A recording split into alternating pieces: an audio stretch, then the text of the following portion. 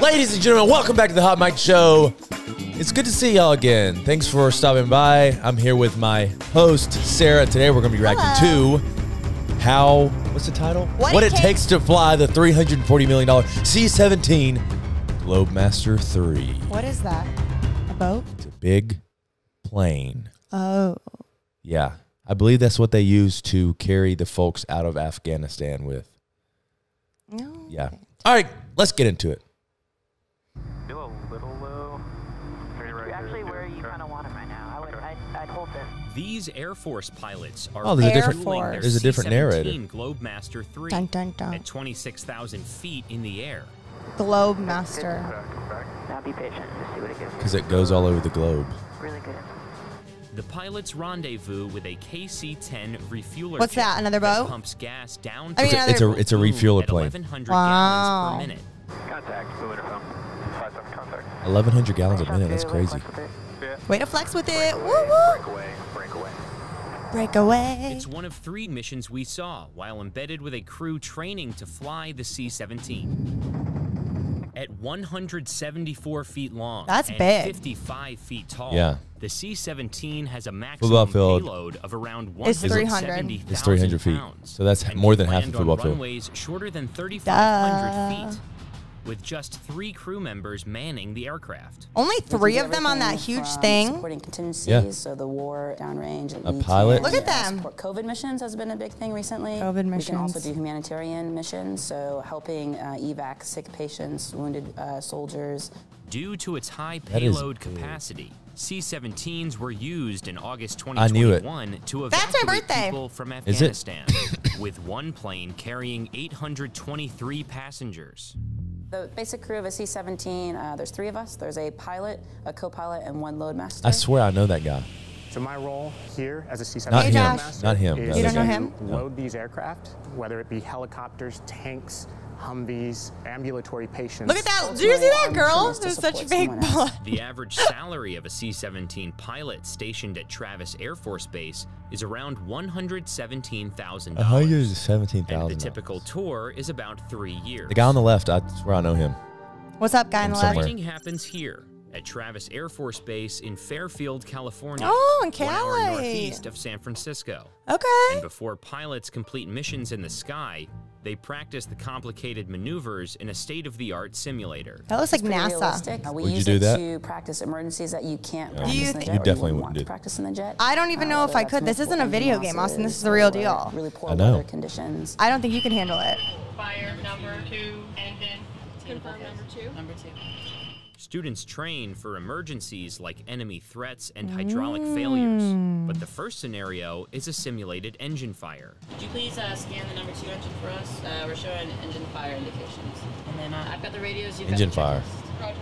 A lot of crew coordination happens at that time, so that's a good, safe space. Look at her He's bling. uh, Look at her nails. To first get the feel. What's wrong with her nails? What are the what are the nail regulations in the Air feel like Force? Before you go do it in the jet. Oh, they're painted white.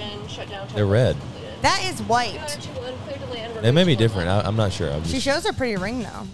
yeah. Where's my ring? After practicing in the simulator, Dollar the crew Tree. meets in the briefing room to plan a live training mission. Uh, so training flight tomorrow. Showtime is a little non-standard. We're gonna do 6:30 local showtime at base ops. Pilots and crew spend You know, none of these hours people the have masks before a on. mission, discussing the route. They're the probably all vaccinated. Backup plans if anything goes wrong. I'm just saying. So if we're in a failure to disconnect position, the main thing is just maintain good stable platform, keep doing what you're doing if you're pilot flying. the crew finalized Look at their plans and were jumpsuits. Is that like a full prepare body suit or is that a pants and a shirt? The flight suit. It's a full full I guess a suit. One jumpsuit. one piece. Precisely at 1000, the crew boarded the plane and ran through their final checklists. Dun dun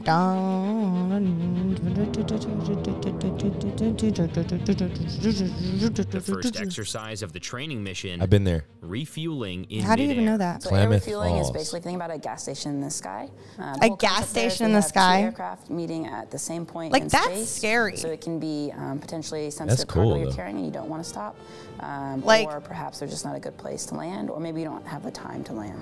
Like how fast does that go in the air like that? I mean, you guys 1100 gallons a minute. I'd hold this. This looks So we'll be about a thousand feet below. No, no, no. How aircraft. fast are they And going? 300 miles an hour. altitude gap to where Wow. uh, that's the long pole that sticks Gotta out of the aircraft listen. to actually pass the gas from their aircraft to ours. Sorry, end up making yeah. contact with their boom.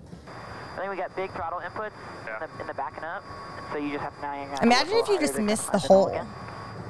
again. That gas tank was like. Happened to me multiple times. A good saying is uh, That you know, gas tank would go small. everywhere. When we're air refueling, we're focusing on very small details and trying to see like small movements because small movements that close can make a big impact. Refueling happens while pilots maneuver the C 17 at 300 miles per hour, nearly 30,000 feet in the sky. You didn't know that. See, now they said it.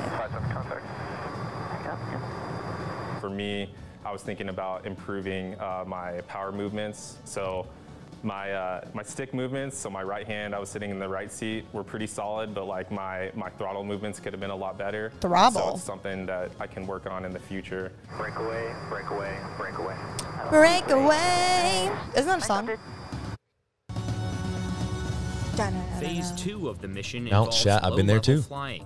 So low level flying during the day, we can go as low as 300 feet above the ground, which is pretty low for a large That is aircraft. very Um, low. And the intent there is to How do you even know below that? the radar picture of a potential adversary. So when Are you you're a lower, pilot? There's a few tactical benefits that we have Basically. that help us get to a. Not It's so crazy. great So on spot this in a big safe plane, manner. there's only three people on there. Yeah.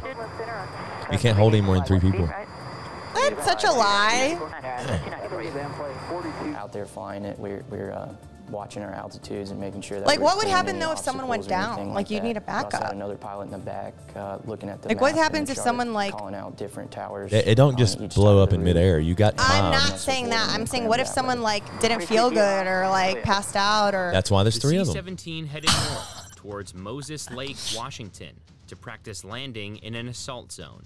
An assault? assault zone That's is a short cool. runway. Typically, they're about 3,500 feet, and then it has a marked zone that's 500 feet uh, long. And our goal is to put our aircraft in the 500 foot box, and then use max effort to stop on the remaining uh, runway. Yeah, that's cool right there.